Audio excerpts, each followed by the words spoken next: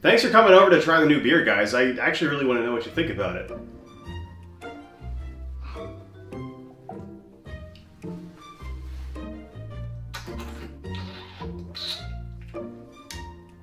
I guess it's okay. What kind of yeast did you use? Voss Kvike. Uh, bless you. No, that's actually the yeast I used. What? Kvike, you know, the Norwegian kind of farmhouse yeast? I think you mean Kvike. No, dude, it's pronounced Kvike. Get it right. Listen, Steve. Any self-respecting homebrewer would know that it's pronounced Quake. I don't know. I'm pretty sure it's what he said. Whatever, dude. It's still Kvike. No, it's pronounced Quake. Kvike. Quake. I think I heard a Norwegian guy say quack once. Kvike. Quick. Kvike. Quick. Kvike. Quake. Dudes. Dudes, calm down. Maybe it's pronounced Kvik? No. Okay, okay. Kvike. Quick. Kvike.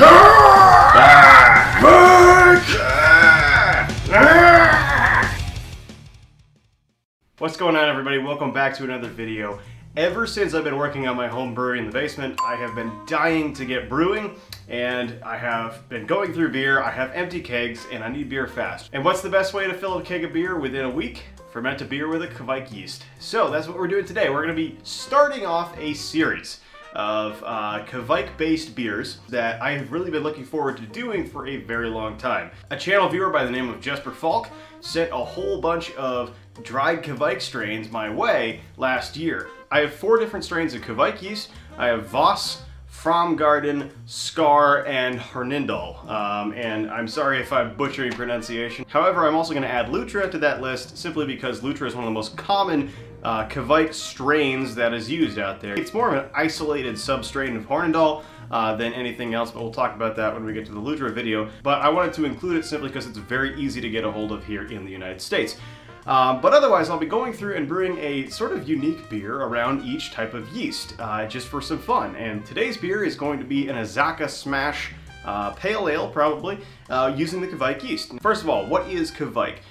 Uh, and how do you say it? That's the whole point of the skit at the beginning of this. How do you say this word?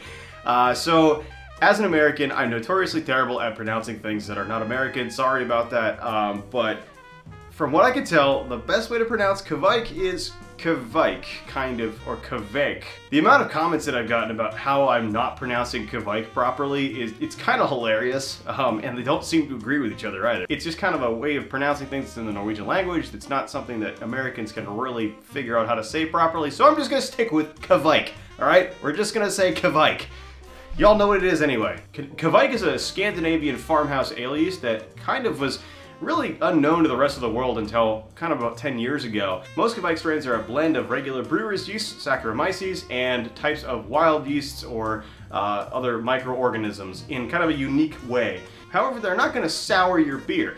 And what's really interesting about Kveik yeast and what's very powerful about it, especially for the home brewer, is that it's basically temperature insensitive. It really likes to ferment at a very high temperature relative to other ale yeasts. So Kveik is happiest above 75 degrees. Lutra, I have fermented at about 100 degrees Fahrenheit. Because of that high temperature, it also finishes fermentation very quickly. And because of its unique genetics, it also doesn't really have some of the tendencies to throw off flavors at high temperatures that you would get with other ale yeasts. And it also is a very low producer of diacetyl, so it's really kind of hard to have a problem with this yeast, but you have to take care of it properly. Something, this has been a learning curve for myself, and it's also something that is a little hard to kind of understand the first time you buy it. It's not magic, you have to take care of the yeast. It's very nutrient hungry, so you really do need to add a whole bunch of extra nutrients to your boil to take care of it, and it's also helpful to just give it a really good, fresh, hot start as you take it off of the boil. So don't cool your wort all the way down, only bring it down to like 85 degrees, and then the yeast will start fermenting within about four hours. And the other thing too is that it has a really nice propensity towards fermenting higher gravity beers better than lower gravity beers. So if you're fermenting like a 5% or less beer with it, it's going to be a little bit tougher to work. Uh, it's gonna need a little bit more time. It's gonna need a little bit more prodding along. Whereas with a higher gravity beer, it doesn't need as much babying along. The other thing too is that different strains have different properties. For example, Voss is very famous for its orange character, but that only happens when you ferment it hot enough. Same thing with the legendary kind of tropical fruit character of Hornindal, you really have to get that thing very hot in order to get that sort of character. Otherwise, it's gonna be kind of clean, and sometimes it might have some less pleasant flavors. For example, I tend to get a lot of mushroom character out of Hornindal uh, if there isn't any sort of extra uh, hop character in the beer and I fermented it colder. So uh, just something to be aware of. Lastly, Kveik is going to attenuate further than most of the yeast, and it's also going to drop the pH of the beer a lot more than other yeasts. So you're going to want to make sure you have a little bit higher of a mash pH or do some dry hopping in order to keep that pH buffer there uh, where you want it. Otherwise, your beer can taste a little bit acrid. So just stuff to keep in mind. So before we jump into the recipe, just a big thank you to a couple different organizations here for helping make this video happen. First of all, Northern Brewer for providing me the ingredients for the batch of beer, so do check them out. I got everything I needed for this beer from them, and so can you. So there's a link down in the description box for that. Secondly, Clawhammer Supply. They make the brewing system that I brew uh, all of my beers on now. So if you're curious about that, check that link out as well, again in the description. And last but certainly not least, Grillaholics. If you're as into grilling and smoking meats as I am, please check out that link. Check out their products. They have some pretty cool grilling accessories that uh, a little bit better than what you might find on Amazon and a lot better prices too. So check that stuff out if you're interested. So now for the recipe. We are going to be starting out with 12 pounds of Golden Promise.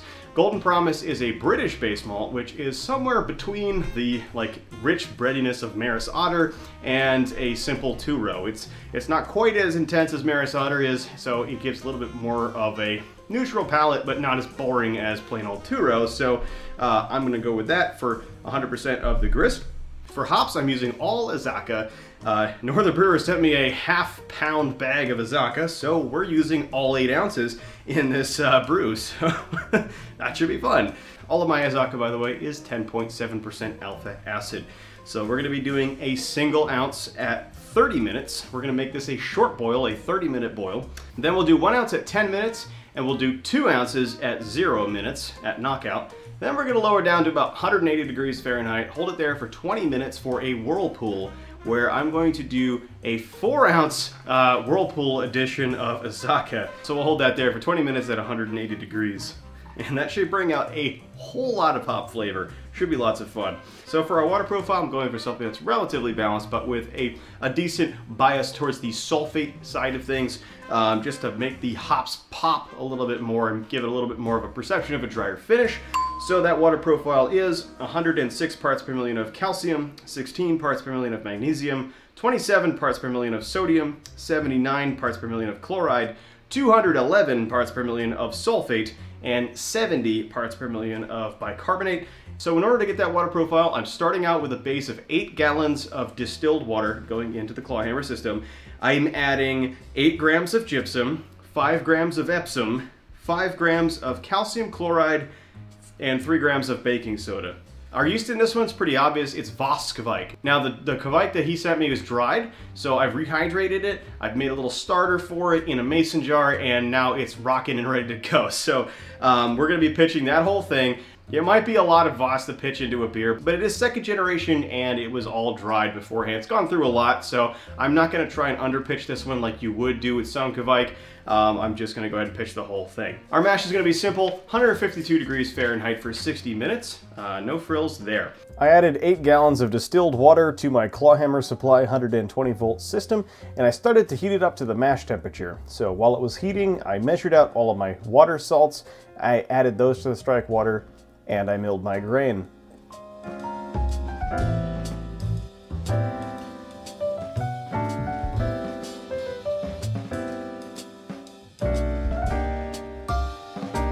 Once the water reached my mash-in temperature, I mashed in with a grain bill, being sure to break up any clumps in the mash. Next, I started recirculating.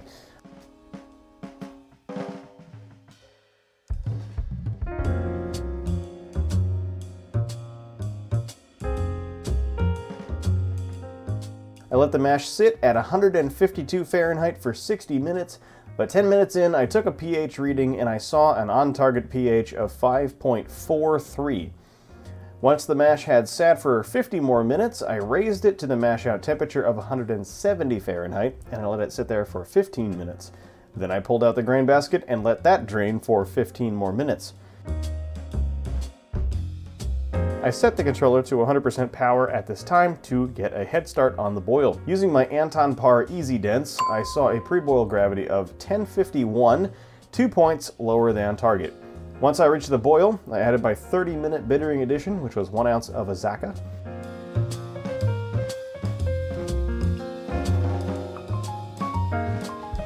Once 20 minutes had elapsed, I added some yeast nutrient,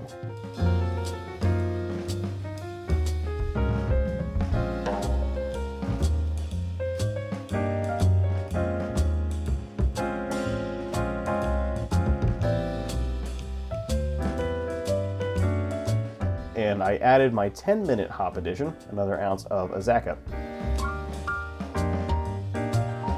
10 minutes later, I added my zero minute hop addition, which was two ounces of Azacca. I killed the boil by starting to recirculate boiling wort through the chiller and the pump, which is just the easiest and the best way to ensure everything's all sanitary inside. After being sure that the inside of the chiller and the pump were all sterilized, I then began to chill to 180 degrees Fahrenheit for the whirlpool, and this took less than a minute. At that point, I set the controller to maintain 180 degrees Fahrenheit, and I added my Whirlpool hops, which was 4 ounces of Azacca.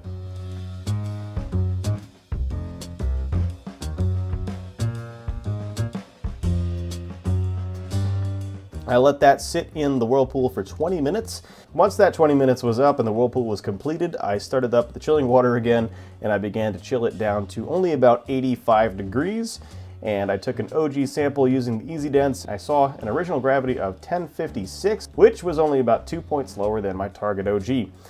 I aerated by splashing into my anvil bucket fermenter and then I pitched my yeast, again about 85 degrees pitching temperature for the Kveik, and I left it to ferment. So now let's talk about fermentation for the beer. For Voss, and really truly for any Kveik strain, you really want to just get it hot. Keep it hot. If you have a heat blanket for your fermenter, that's great. Um, if you have a fermentation chamber, like a, a, chest freezer, and you could keep that thing sealed and let the heat of the yeast do its own thing and heat itself up to a, a high temperature, that's also great.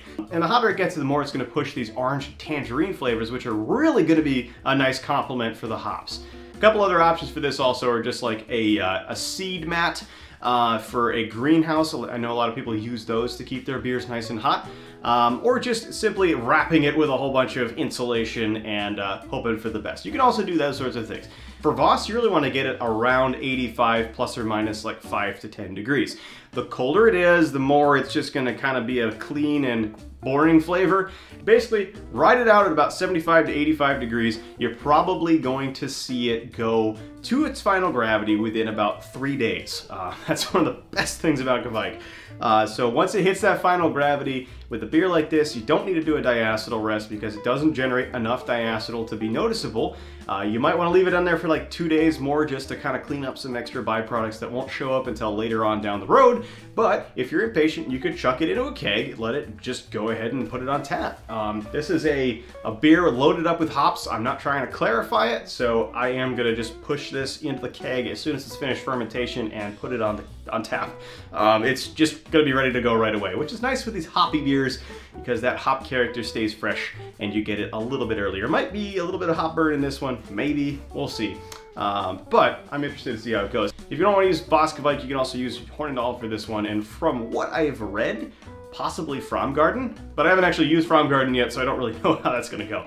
Now, if you want a radically different beer, then you can also go ahead and just ferment this with a regular American ale yeast or a British ale yeast if you want a more New England style IPA type thing. Um, it's very flexible.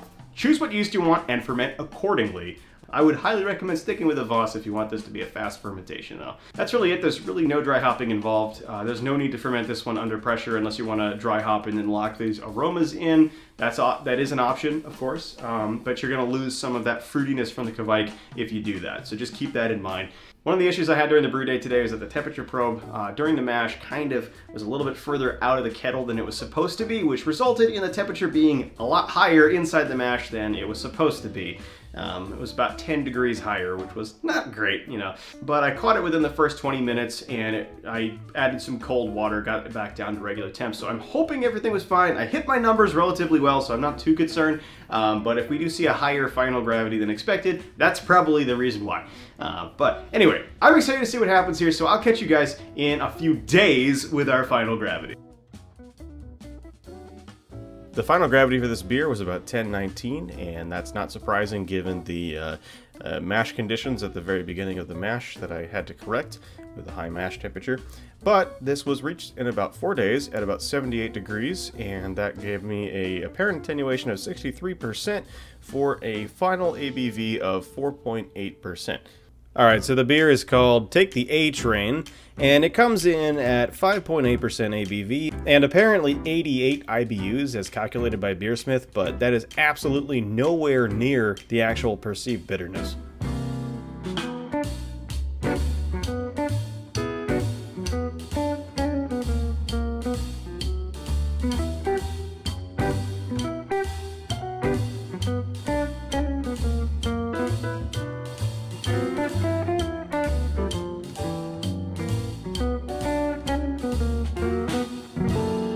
So for appearance, it's nice and hazy. It's got a sort of dark gold appearance, which is really surprising to me considering that I only used a single malt, Golden Promise, which is a pale base malt. Uh, this looks almost like it was brewed with like a Maris Otter level of uh, kilning, but uh, honestly, it's a little bit darker than I expected. Not a bad thing though, it doesn't look unappetizing in any way. It's just not as pale as some of the other hazy beers that I've made, especially with a single malt. Uh, it's, it's definitely quite hazy, but I think that's gonna clear up over time. Decent head retention, there's definitely some lacing going on. There's also a small layer that stays on the surface for a while as well. So we're officially one week after I brewed this beer. Uh, the fermentation was very quick and very fast. I got it up to about 78 degrees uh, just from its ambient heat captured in a fermentation chamber. Was not able to get it all the way up to 85, but that is okay. Uh, the fermentation was still very fast at three to four days, I think. I kegged it on the fourth day. I slowly let it force carbonate after that for the next three days, and here we are today. Um, it's nicely carbonated, well balanced, and uh, generally just a very good tasting beer, so I'm excited to talk about it. Now we'll go in for aroma. The aroma is a nice kind of candied orange character. There's a bit of mango in there as well. Um, actually, more than a bit. It's more of a prominent mango. Uh, so yeah, orange and mango mostly. And now for mouthfeel.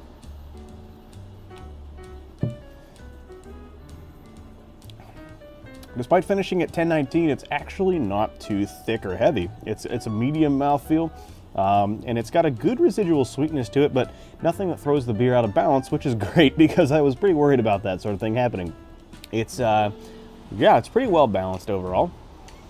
Hi. Do you really have to be here right now? It's a good mouthfeel for this. It feels more like a modern American pale ale. You know, it's a little bit fuller than a West Coast style pale ale or an old school American pale ale would be like.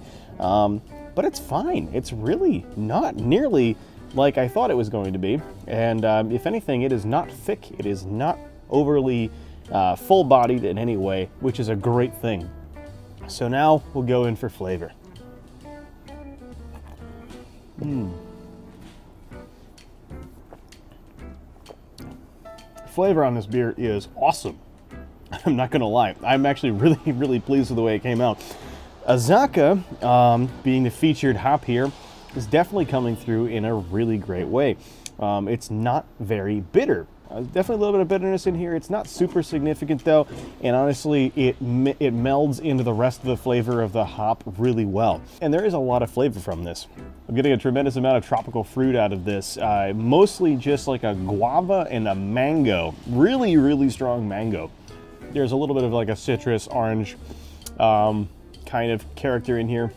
Yeah, there's definitely not any grapefruit in this. There's definitely not any sort of prominent like lemony character um, or limey character. A little bit of a berry, a little bit of a nice kind of uh, twang of something slightly tart, um, which is making me pretty happy. And when I was making this, I wasn't sure if it was going to fall into the IPA category or the pale ale category based on just sheer hoppiness. Um, but it really does fall, I think, in the pale ale category, just at the upper echelon of that. The advertised IBUs are absolutely nothing like what it tastes like. It's honestly probably somewhere around 35 perceived. The interesting thing about this, though, is that it tastes very juicy. It's very similar to um, an experience you would get if you've ever gone to like a fancy hotel breakfast and you've gotten one of those pure squeezed mango juice kind of uh, things. It's it's very similar to that, just with a grain base.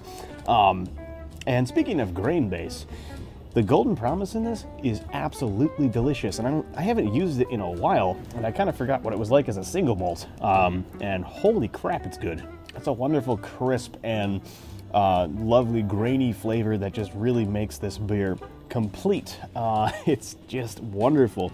Um, nice, slightly semi-sweet kind of character, um, and a good amount of just kind of like a, a crackery biscuitiness. It's not really up for debate. It clearly blows two row, just regular two row out of the water when it comes to being a single malt, but I'm just happy to have that Golden Promise base in here, and I'll probably continue using that for these Kveik beers. Voss was a great option for this beer. It just blended right into the hops. You know, I can't really tell what's a yeast ester and what's a hop character, but I'm just happy it was a nice quick fermentation with no off flavors and just a really great beer at the end of the, of the process. There is one interesting and unintentional uh, part of the flavor of this beer, though. When I keg this beer, I cleaned the keg with the typical PBW wash and Star San finish, uh, but it was the keg that I had kegged my uh, Imperial Coffee Stout in, and apparently there's a little bit of residual coffee character because the first few sips of this beer taste vaguely like coffee beans, um, and that might be part of that interesting bitterness that's blending into this. Um, unintentional creation, definitely not mad, um, but you know, probably not exactly what the recipe would have yielded otherwise. So overall, definitely very happy with this beer. Um, would definitely make it again. And Azacca hops, hell yes, very good hop. Very happy with the way that came out.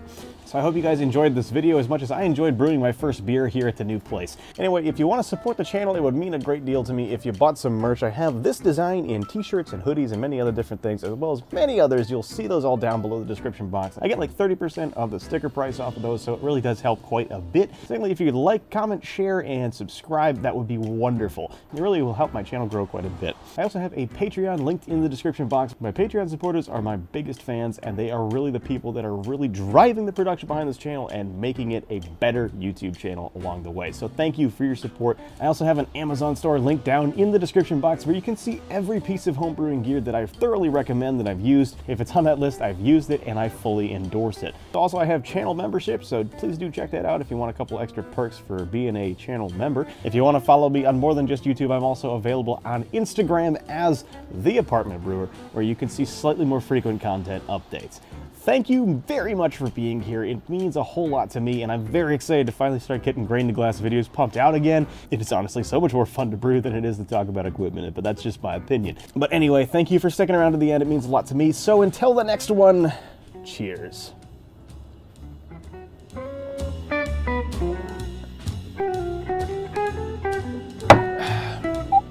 Want a sip?